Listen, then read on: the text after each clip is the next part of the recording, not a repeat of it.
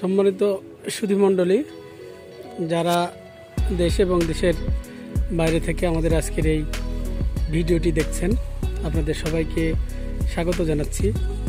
আমরা আপনাদেরকে আজকে নিয়ে এসেছি পান বরজে, রাজশাহীর ঐতিহ্যবাহী পান বরজে আপনাদেরকে নিয়ে এসেছি। এটি মিষ্টি পান। আপনাদেরকে আজকে এই পান বরজে যে পরিচর্যা করা হচ্ছে, সে বিষয়ে বিস্তারিত জানানোর চেষ্টা করব। চলুন, ভিডিওর শুরু থেকে শেষ পর্যন্ত আপনারা দেখুন। যাদের পান বরজ রয়েছে কিংবা যারা পানের সাথে সংশ্লিষ্ট রয়েছেন, কীভাবে পান উৎপাদন হচ্ছে, এ বিষয়টি আপনাদের প্রত্যেকেরই জানা দরকার। সেজন্য অত্যন্ত গুরুত্বপূর্ণ হতে চলেছে আমাদের আজকের এই ভিডিও।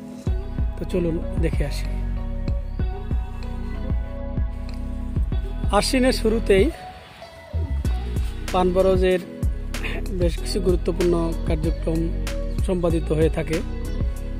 আজকে যে পানবরজে আমরা রয়েছি, সেখানে পান গাছের জন্য খাবার দেওয়া হচ্ছে। এখানে রাসায়নিক কিছু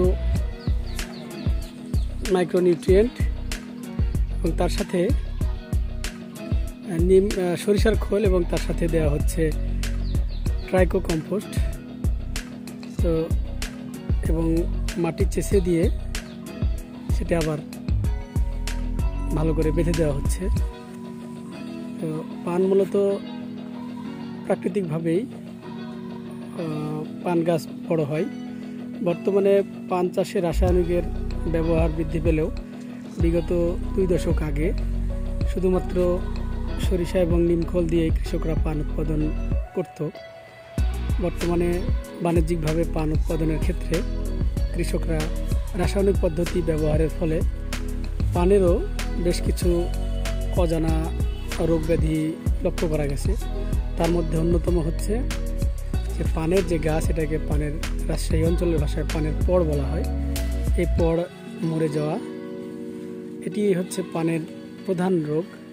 এখন পর্যন্ত কোনো গবেষক, কোনো বিজ্ঞানী পান গাছের এই মড়ক বা মারা যাওয়া রোধ করার কোনো উপায় বের করতে পারেন নাই।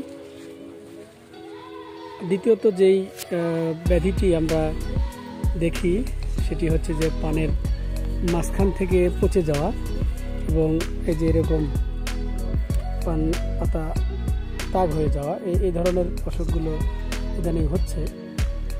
এটাকে এই অঞ্চলের ভাষায় চিনি পোকার আক্রমণ বলে বলা হয়ে থাকে।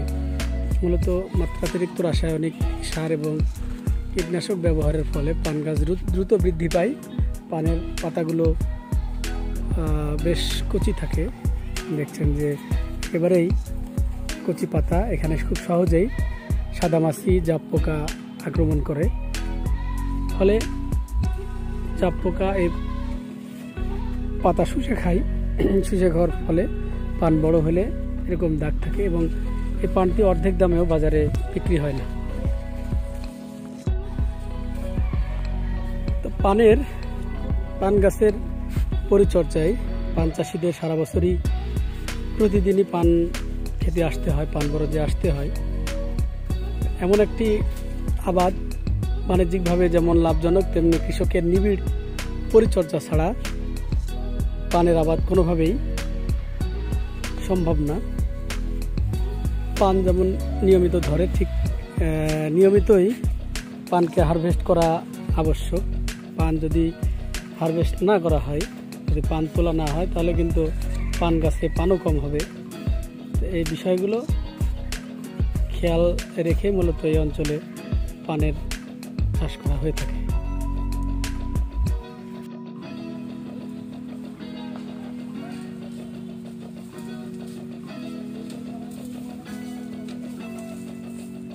এখানে দেওয়া আছে খোল জিঙ্ক শিকড় প্লাস আর হলো কার্বন ডাই।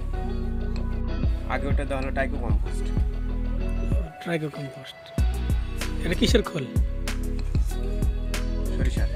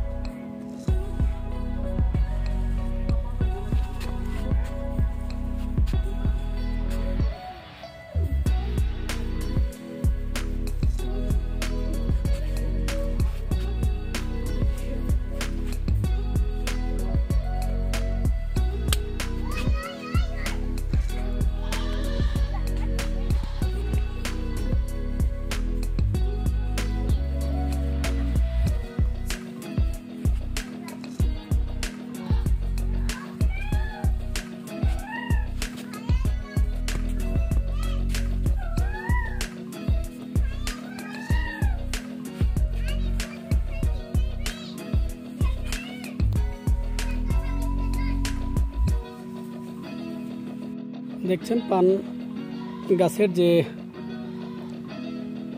পিলি যেটাকে বলা হয়, এই পিলি চেষে দিয়ে, হাত দিয়ে মাটি সমান করে দেওয়ার পরে কি সুন্দর, চমৎকার দেখাচ্ছে। দেখুন যে খাবার দেওয়া হয়েছে, আবার কোদাল দিয়ে চেষে দেওয়া হয়েছে। প্রত্যেক পান চাষি তার নিবিড় তত্ত্বাবধানে শতভাগ মন মানসিকতা এখানে পানের সাথে রেখে গভীর মমত্ববোধের সাথেই মূলত পান উৎপাদন করে থাকেন। মাঝে মাঝে পানের দাম পড়ে যাওয়ায় কৃষক হতাশ হলেও কিন্তু পান চাষ থেকে ফিরে আসে না। সম্প্রতি বাংল- বাংলাদেশের বৃহত্তম পান উৎপাদনকারী উপজেলা হিসাবে বাগমারায় রাজশাহীর বাগমারা উপজেলা দেখলাম যে সেখানে অনেক নিচু জমিতেও কিন্তু পান চাষ করা হচ্ছে। মোহনপুর হচ্ছে এক্ষেত্রে দ্বিতীয় এবং বাংলাদেশের যে সমস্ত এলাকায় সুস্বাদু পান উৎপাদিত হয়, তার মধ্যে মোহনপুরের পান অন্যতম। এবং মোহনপুরের পান নিয়ে কিন্তু গানও রয়েছে। আমরা মোহনপুরের চাষি ভাই, মোদের কোনো দুঃখ নাই। ঘরে আছে ধান, মোদের বরে আছে পান। এই পান নিয়ে এরকম মোহনপুর শিল্পীরা গানও রচনা করেছিলেন। তো এই জন্য পানের যে আদি নিবাস, রাজশাহী অঞ্চলের, এটি কিন্তু মোহনপুর থেকে যাত্রা শুরু হয়েছে। পাশাপাশি পবা, দুর্গাপুর উপজেলাতেও পানের আবাদ বাণিজ্যিকভাবে কৃষকরা করে থাকেন।